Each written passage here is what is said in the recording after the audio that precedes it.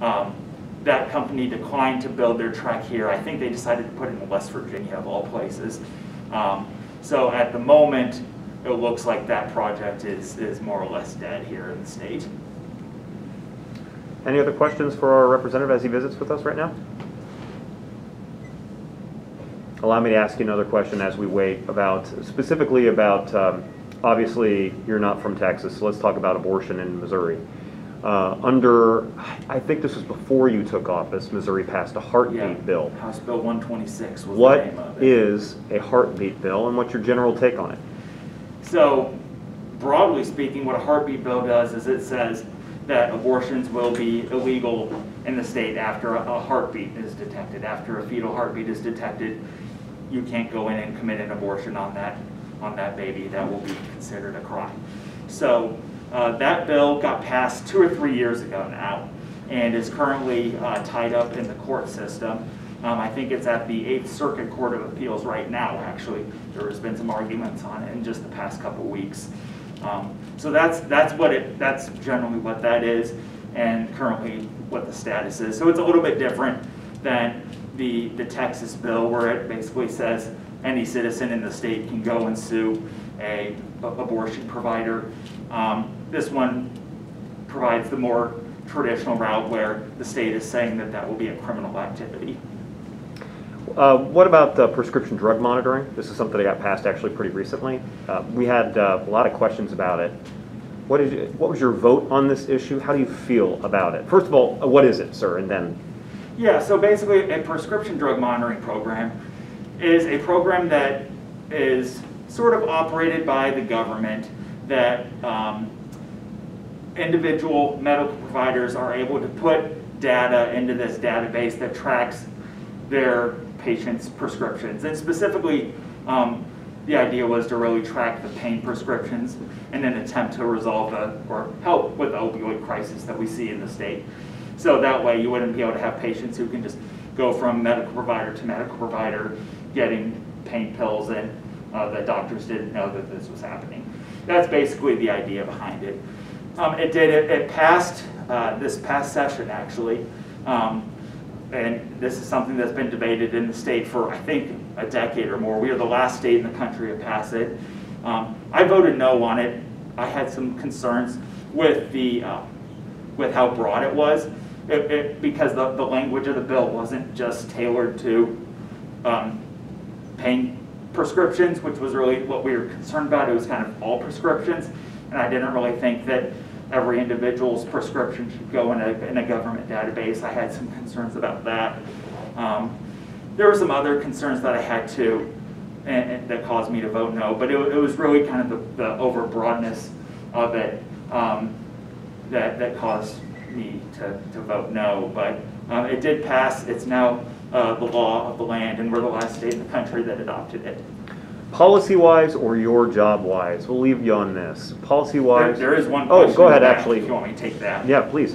Um, I was wondering on, I don't know if there like already are actions to help them, but the homeless here in like actually in Springfield, um, are there anything, are we doing anything to help them get off like the street? Are there like shelters and stuff? And also, how much, how far do you think, do you think the government should help them? Like there should be things put in place. Now, I don't know if there already is something in place because I didn't do the Springfield, but I have been seeing like a lot of homeless people around and like in the parks and stuff like that. Yeah, so that's actually a good question. Kind of brings me back to what I was talking about there at the very beginning before we started taking questions.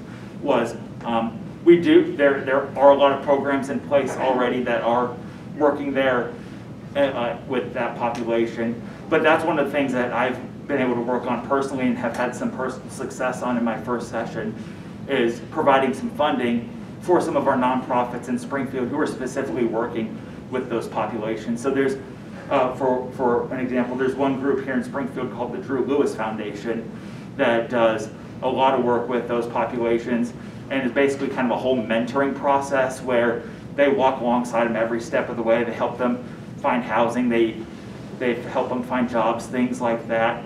Um, so I was able to put almost a million dollars in the budget for both that organization and kind of a sister organization that works with them that's specifically targeted to helping um, low-income individuals and specifically um, women and minorities get into the tech field. Um, So there are some things in place. There are more things that we're working on and putting in place, and that, and- and frankly, that's one of my, my personal passions uh, of the things that I've personally been working on. So uh, policy-wise or your job-wise, what's something about your daily life as a representative that uh, we should know more about? If you, if you had your druthers, what, which we know more about you, your position, or politics in general in state? So, you know, again, it really goes, to my, my personal passion is economics and helping people in whatever it looks like to them find success economically. So that, that doesn't mean everyone needs to be millionaires, but it does mean that people should be able to find whatever economic opportunity that provides a meaningful life to them. So, uh, you know, at the state level, with some of the bills that I filed, they're, they're more broadly trying to help make our state's business climate more favorable, help us be able to compete to bring in better jobs. And then with my role in the budget committee, like what I've talked about, really focusing on, on providing funding for our, our area nonprofits who are doing some great work in, in the space, especially with our homeless populations and things of that nature. Budget committee is a tough assignment. It is. It's a Yep. massive amount of work. That's right. So we've got about a $35 billion budget in the state. Um, And, and for those of us on the budget committee, most of our time in the Capitol is spent actually working on the budget. There's a couple more questions. So I had a question back on the, on the abortion with the heartbeat. Um, Is there any exceptions to that, um, like if it's non-consensual? And if there isn't, like what is your take on that for like as us women having rights for that? My recollection is the, there is a life of the mother exception in the bill that Missouri passed. Um, There, there isn't a rape exception in that bill to my recollection. And I think that the thought there, and, and you may agree or disagree with this, is as, as policymakers, if you think that abortion is the taking of a human life, then um, the, the only time that that would be um, really okay is if there's also another human life that could be lost if that procedure wasn't performed. So I think that was the idea behind only having the one exception there in place. Um, what's your take on raising minimum wage? So I have a lot of concerns over raising the minimum wage. Um, I- We'll kind of see how it all shakes out with where we're at currently, where we have this situation where um, companies are raising their own wages above the minimum wage right now to- in, in order to try and bring more workers back into the workforce. Um, But before kind of the current situation that we're in now, the concern that I was hearing from a lot of the, especially the small businesses, was we're not going to be able to, we're, we're, it just doesn't make economic sense. We don't have the dollars to be able to pay these new wages that the government is saying we have to pay. But you did have all the big companies like Walmart and Target and things like that all advocating for the minimum wage increase because they did have the financial resources and they knew that if those laws went into place, that could potentially cause a lot of their competition to go under.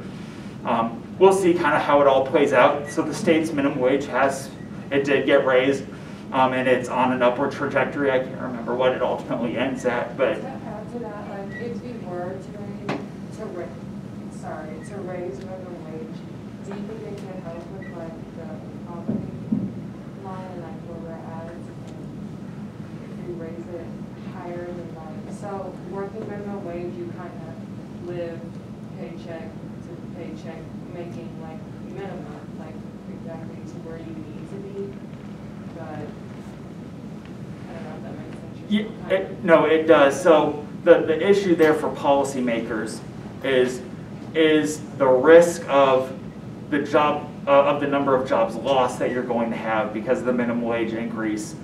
Is that worth the potential ability to bring a certain population up a little bit?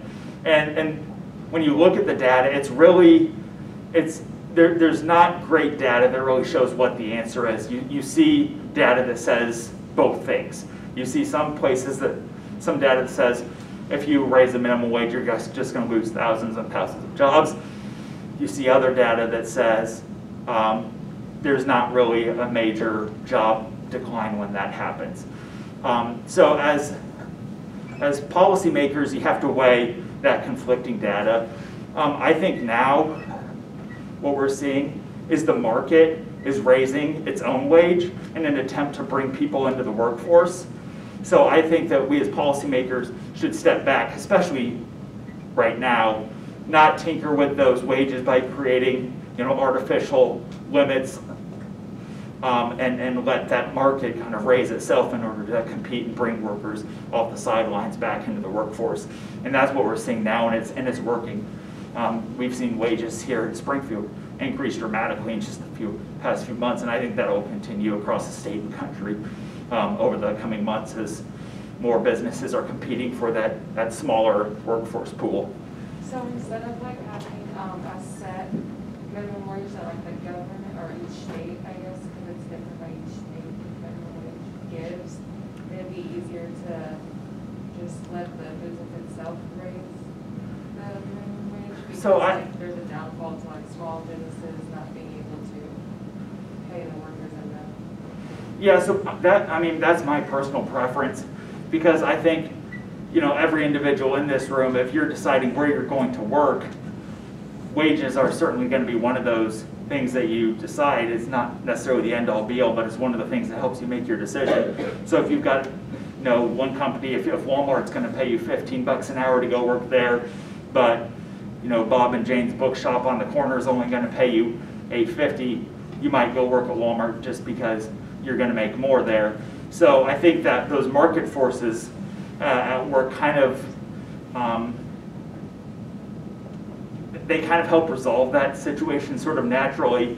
And then if Bob and Jane's Bookshop can't recruit anyone to come work for them and they really feel like they need an employer or an employee, then they may have to raise those wages in order to recruit someone. So that's my preferred, um, that's my preferred way to do that. I, I certainly don't like a federal, especially a high federal minimum wage, because that just does not take into account the unique differences between states. So if you're in California, I mean, a 15, 20, maybe 20, 25 dollar minimum wage makes a lot of sense. Like you can't live in California Yeah, for that. But if you're in Springfield, fifteen dollar minimum wage, maybe that does make sense. We have a low cost of living. So, um, if, if, kind of broadly speaking, I don't think that the federal government should really start raising minimum wages, especially to a high level, because it really doesn't take into account the individual unique ec- economic situations in the states. Yeah, every state's different. You mentioned a couple things throughout the presentation so far, and one of them was, um, this is a very ideological question, so, um, one of them was taxes and- and the other was limited government. I wanted to know, do you think ideologically it's uh, fair to tax the wealthy individuals in society more than other individuals like middle class or lower? What I, my personal preference would be to have a- what's called a flat tax, where you have every, every population paying basically the same rate. Um, That's, I think, that, that's my preference. Um, If you're looking at like an income tax as a whole, really, I, I'm not a big fan of the income tax at all. I would, I would like to see the income tax get abolished in Missouri and move to um, just a higher sales tax. Because I do think that would be a, I think you do have an, an equitable situation there because you have, your well, your populations are gonna buy more crap. So they're gonna pay more in taxes versus your lower income populations won't be buying as much, they won't have as high of a tax burden. So I think if you're looking at, um, what, what I would consider the most equitable result, it would be something like that. Any other questions? All right, round of applause for our guest speaker. Before, best way to contact you, sir? Uh, there are a number of ways, I'll give you my personal cell phone, that's the best way to do Okay. it. It's uh, 417-860-7555. One more time, sir? 417-860-7555. That's my personal cell phone. Best way to contact me, but you can email me through my official house email. You can find that online. You can call my office. You can find my law firm information online. You can get in touch with me there too. I'm, I'm pretty accessible, so um, if you have questions, don't hesitate to reach out and ask. If you think I'm doing something dumb up there, don't hesitate to tell me that either. Um, But yeah, that, number of ways to get in touch with me. All right, thank you so much, sir. Thank you.